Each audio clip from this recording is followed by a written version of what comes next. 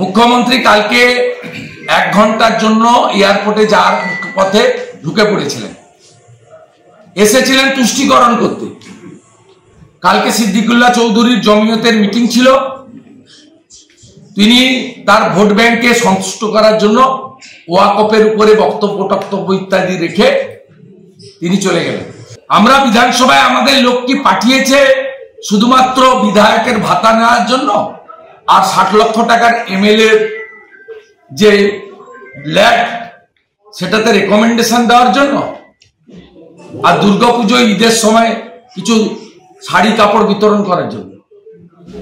এই জন্য তো আমাদের পাঠায়নি আমাদের হিন্দু জনগোষ্ঠীর ভোটে আমরা এমএলএ জিতেছি ধর্মাচরণের উপরে প্রোটেকশন না দিতে পারি, সেই কথা বিধানসভায় বলতে না পারি। পুলিশ ডিপার্টমেন্টের প্রশ্ন উত্তর হয় না। অধ্যক্ষ মহোদয়, আজকেও তিনি তার এটা পড়তে না দিয়ে তিনি যে এই চেয়ারটাকে রাজনীতিকরণ করেছেন আবার প্রমাণ করলেন। এবং তিনি যে হিন্দুদের সংবিধান অনুযায়ী, হিন্দু কেন?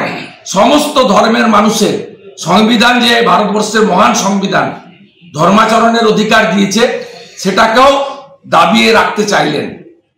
বললেন, সংবিধান দিবসের দুদিনে এটা আলোচনা হয়েছে।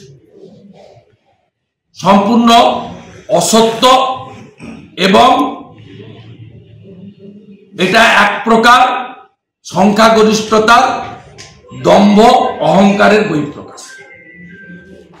নিজ নিজ ধর্ম পালনের আমরা মুলতুবি প্রস্তাব এনেছিলাম, সম্প্রতি যে উৎসবের মরশুম চলে গেল বা পুজোর মরশুম মানে আমাদের গণপতি উৎসব বিশ্বকর্মা পুজো থেকে শুরু করে শেষ কার্তিক পুজো পর্যন্ত।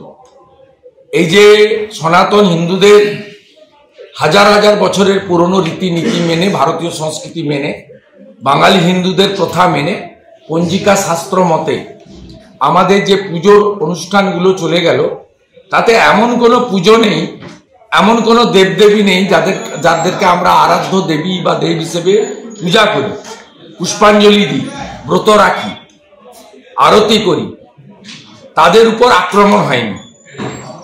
আজকে সকালেও বীরভূম জেলার পুরন্দরপুরে বজরংবলির মূর্তি ভাঙা হয়েছে, মন্দির ভাঙা হয়েছে। আপনারা দেখছেন বর্তমান সময় ডট কম।